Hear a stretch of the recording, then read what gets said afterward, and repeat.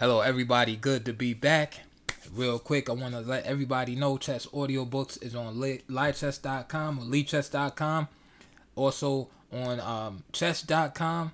Same name is here, Chess Audiobooks. So if you want to uh, be my friend or play me in a game there, I'll be glad to uh, play you and take on all comers. I'm also on Instagram and uh, Twitter.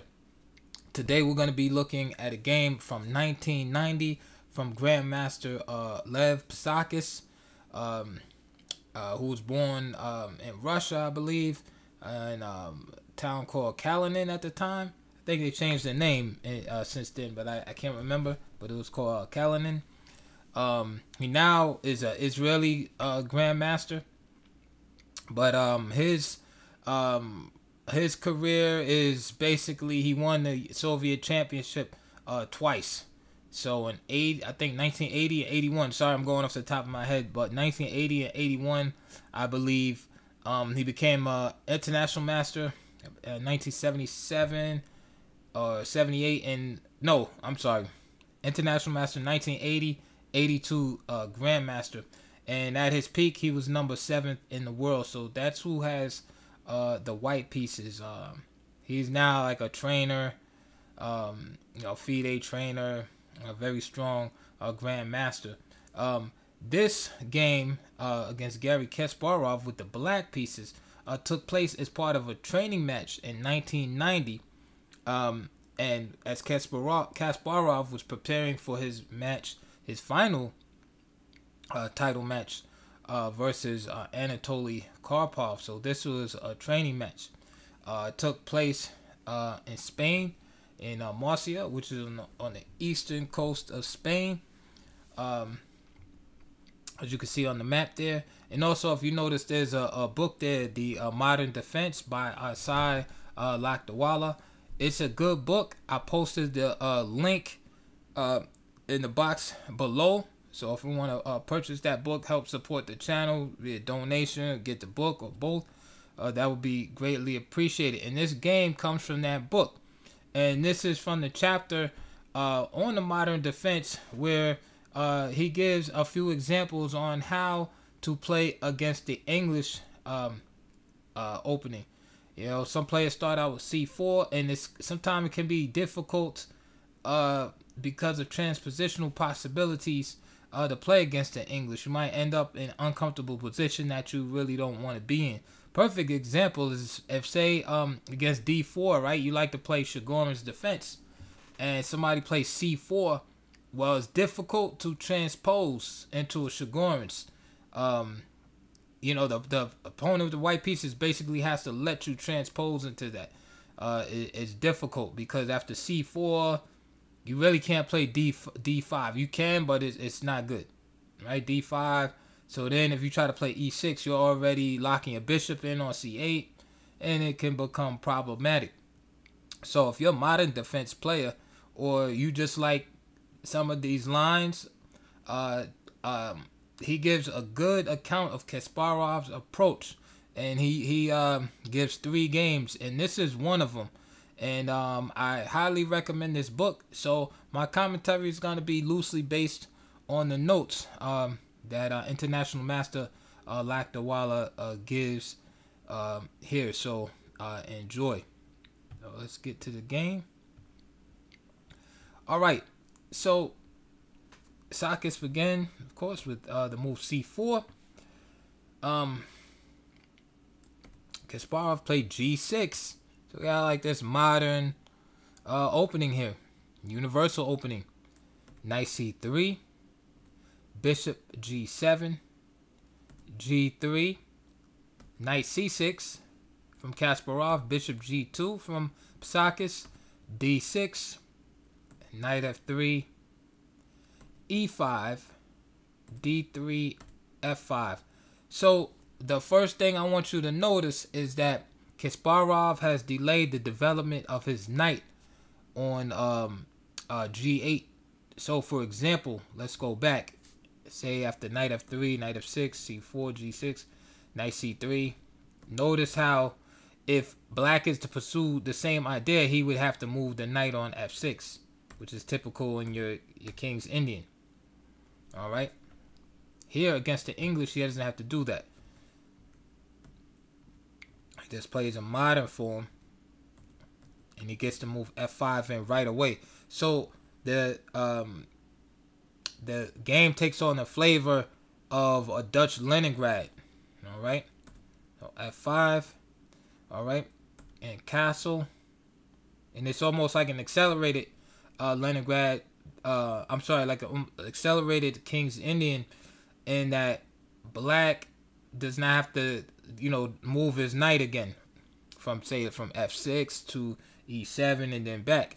He just develops it right to um, f6. So it's like he has a Leningrad with the extra tempo. Rook b1, typical expansion idea on the uh, queen side of the board. b4, b5, etc. And now here Kasparov plays h6. Now this is uh Lakdawala's note. So he he asked a question, and this is a good format in these um in these type of books by Everyman Press. Is um it use like the Socratic method where they ask you a question and then you got to try to figure it out. So the question here, he says, why at this moment does Kasparov uh, Kasparov uh, play the move h6? Why put that in there? All right. So he says, of course, castling is also fine here. Okay, but h6 is useful for two reasons. One, and I can see you know, as a long-time Dutch player myself, first of all, it allows you to start expanding on the king side for your attack. But the second reason, all right, because black, of course, is playing in the pawn storm with g5, g4, etc. This is what you want to do in the Dutch. But the other reason is it prevents simplification, um, um, you know, uh, of the position based on you know, uh, white playing quick bishop g5 trade, trade off the knight, etc.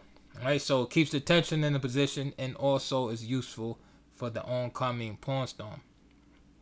Okay.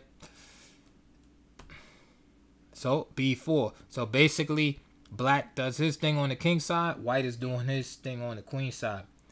Um, a5 is is possible. Okay. Um, uh, Lakdawala actually gives that in his notes here. So a5 the the slow and this is like always, you know, it depends on the position, right? Sometimes it's useful to stop white from um, moving on the queen side, and sometimes it's it's better just to ignore it. So, so it's one of those, you know, it's based on the, the position, right? I'm sorry I couldn't give you a better answer, but it's it's usually uh, based on concrete uh, circumstances. All right, so for instance, a5, a3, castles, now b4, takes, takes, and then h6. b5, 97, bishop b2, g5, rook a1, and you can see some trading off on the queen side, bishop e6, queen a7, and b6. And this happened in um, a game between uh, Grandmaster Loek van Wely and um, uh, Movsesian. And this is like, you know, um, uh, equal uh, position here. So a5 is possible, but Kasparov just played h6, b4 castle, b5, 97, and now a4. All right. So here's another question um, by Lakdawala. says, does c5 uh, open the queen side? Okay. So just playing c5 uh, straight away. So it says yes, c5 opens the queen side, of course, but black is ready to challenge white on that wing after bishop uh, e6. So, for example, c5, bishop e6, bishop e3, rook c8, queen a4, b6, c takes, c takes, rook fc1, queen comes to d7, bishop to b4. All right, and again, black, you know, black looks fine here too. So a4 happened, bishop e6, bishop a3, rook comes to c8, knight to d2, and b6. All right. Now, uh, here's an interesting note here. He says this was Spassky's famous closed Sicilian setup, which he used with colors reversed to clobber Geller with three straight blows to the head in their candidates match. Black curls up in the ball on the queen side, providing white with a single, amply defended target on c7. Meanwhile, black attacks on the other wing. All right. Then it says exercise or homework assignment. Study Spassky's three close Sicilian victories versus Geller from their 1968 match. You will get a great idea of how to handle black in the modern versus uh, uh, knight of three English positions. And he's right about that. I've actually looked at those games. I think I've analyzed them on my channel actually. Um, where during their candidates match, Spassky with the white pieces kept employing the closed Sicilian against Geller. And the main takeaway from that match was that you have to take time uh, if you're black to slow White's attack down on the king side. The mistake Geller had made in that match is Geller just went all out on the queen side and he let Spassky go all out on the king side. He never really took too many prophylactic um, uh, measures to slow Spassky down. You know, so you know, of course, that's water under the bridge, but th- that's basically the stories of of story of that match. All right, and so what uh Lakdawala is saying here is that Black's position is similar, you know, with reverse colors to that which Spassky had. Game continued E3. Um, the idea behind E3 is, of course, to stop F4, but it also allows White at some point to play D4 or F4 himself. All right. And actually, um, uh, Lakdawala mentions here, he says, those Spassky Geller games may have convinced White not to one track mindedly pursue his queenside dreams to the detriment of his king. So that's exactly what I was saying. If you look at those games, you'll see that uh, Geller believed in his queenside uh, counterplay so much he kind of ignored his king and he paid for it in that match. G5, here we go. D4. All right. This is old school chess, just basically countering the wing attack with the attack in the center. E takes D4. Um, E4 is possible too. And then white plays F3. Kasparov took. And now F4 continuing the attack. Rook E1. Bishop G4 hitting the queen knight f3, queen d7, and now c5. White must distract black from the attack or face annihilation. That's uh, Lakdawala's notes right there. Rook c e8, rook c1, and knight f5. All right, so you can see black's uh you know is build black is building up this uh, powerful attack here. Um you know, and it's looking looking kind of looking kind of scary on the king side for white. Queen d3, king h8, c takes, c takes, bishop takes. I'm sorry, rook takes e8, queen takes e8. All right, so Kasparov, um, as usual, you know, in his younger days, you know, kind of like Tal, was not uh scared to offer a piece in the position. All right.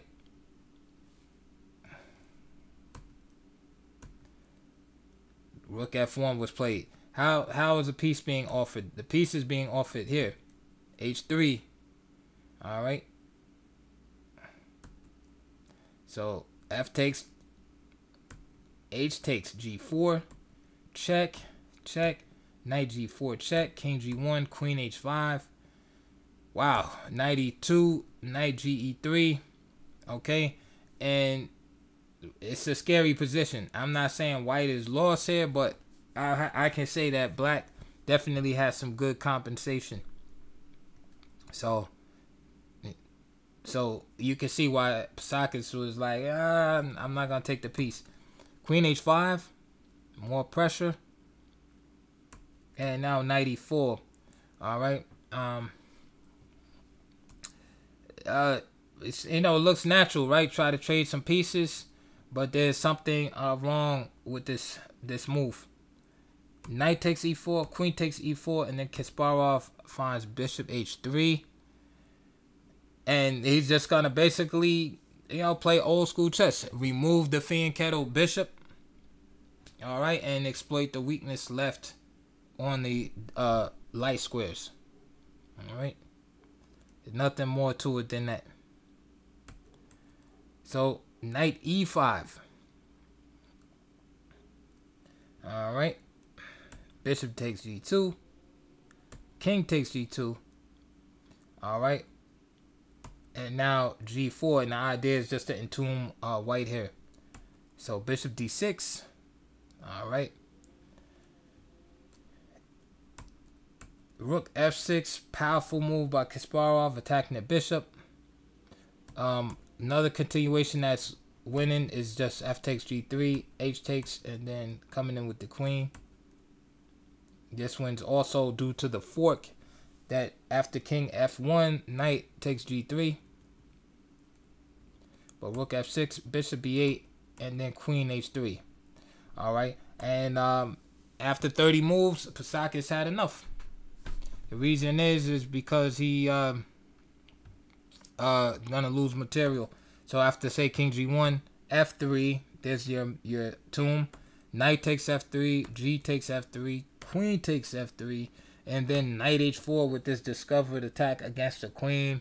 There's all type of mating ideas in the air. So really, the only reasonable move to keep from um, getting checkmated right away is uh, queen h1. You try, you know, try to keep the queen on the diagonal. Unfortunately, after knight f3, um, for white, then um, he'll just have to give up his queen for the for the knight. So this is why Psakhis uh, resigned. So um, in this book, um, Lakdawala gives three, uh, two more examples of Kasparov playing this way against the English. One of the games is against uh, Ljubojevic, and I can't remember who the other uh, player is, but the setup is the same uh, with the black pieces. Um, I guess the key thing to remember is the delay of the knight on f6, because then you know you might try you just transposing like regular King's Indian. So here, um, uh, Kasparov is um using the reluctance of white uh to really uh, contest e4, right? So he can just um delay the development of his knight. And he gets a great uh reversed closed Sicilian uh setup against the English. So this style of play appeals to you, this is a great way uh, to begin your games uh, against the English uh, with the move uh, G6. So perhaps on the next video, I'll show I'll show another game. You know, we'll see what the uh, response uh, from this video is, and you know, we'll show another game in the English also because I know that you know certain openings give certain players more trouble than others. And English is, is can be one of those openings and pretty annoying, and you know, because you have your set repertoire for E4 and D4, and then sometimes these transpositional lines with knight F3 and, and um, C4 can be a little problematic, you know, for people. So this might be a good setup for some people. Like I said, I played the Dutch for a long time, Dutch Leningrad, Stonewall, classical Dutch. So this is like right up my alley, uh, and playing against um the English. So hope you enjoyed that video. Um, again, please like, subscribe, all that stuff. But mostly hit that thumbs up button. That's the that's the button that's gonna help um, get my videos seen across YouTube. So um, I hope you enjoy it. Once again, just click on the links below. DVDs. This uh, book is down there. Um, you know, and check it out. You know, it's pretty good. And um, I'll see you guys. Let me know what you think, and I'll see you guys on the next video.